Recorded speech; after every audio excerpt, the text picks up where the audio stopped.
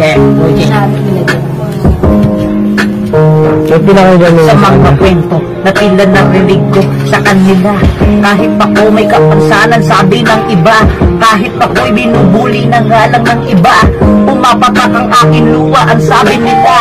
Ako ay hindi lumaki sa aking magulang. Ako ay inaalagaan lang ng aking lola. Di ako makapaniwala na ako'y may kapansanan. Tila tumulo ang luha ko ng di ko na malayan O bakit ba? Tinatanong ko ang Bakit ganito ang kalagayan ko Binigay mo sa akin tapos Ba? Sabi mo sa akin ako ay iyong gagabayan Hindi mo ko papapayaan magpakailanman Aming ama Bakit ngayon pa? Ngayon pa? Ako'y pinata Bakit ganito ang kalagayan ba? Papatak ang aking luha Gusto kong makakasama ang mga magulang Pero bakit sila ganyan iyak Rinato na anak? Kulit may kapansanan ba ako? Ako ay nalulungkot Gusto ko silang magkasama. Kahit ako'y ginaganon Mahal ko na sila Tila sa aking kalagayan Na tila ba may katanungan Na umapasok sa aking isipan? Sabi ng iba si okay daw Inutil daw. Sabi ng iba Di ako naniniwala sa kanila Pinaniniwalaan ang sarili ko. Gusto kong makita Niwalag ng buhay ko At sana ay tanungin ko ang Panginoon. Bakit ganito pa ba Ang kalagayan ko?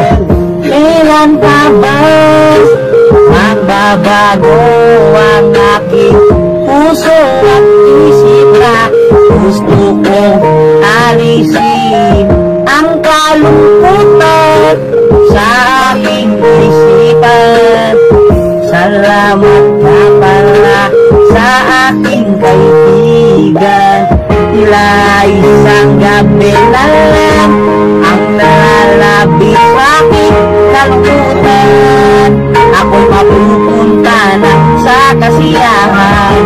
Si Kuya Pangil sa akin ay nagwala sa akin sa mundo. Nung ako'y Kapila isang gabi Ako ay natakot.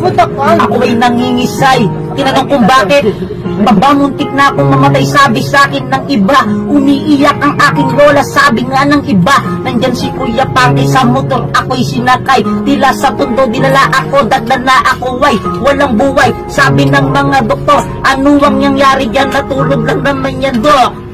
Tila ang aking lola ay nalulungkot. Hindi makapaniwala sa nangyari kong tanong. O ba sa aking sarili May nararamdaman. Bakit ba ganito nangyari? Sa akin isip lang naman Sinubukan ako ng ating Panginoon Umahal niyo daw ako Yun ang sabi na ngayon Nandyan si Kuya Paki Sigura ko ay Diniinan Tila ako ay nagkaroon ng malay. Tinatanong ko ang mga doktor Ano ang nangyari? Ako'y bakit nandito? Talaga sa may mundo Sabi ng doktor Kuya may laglag ka sa loob.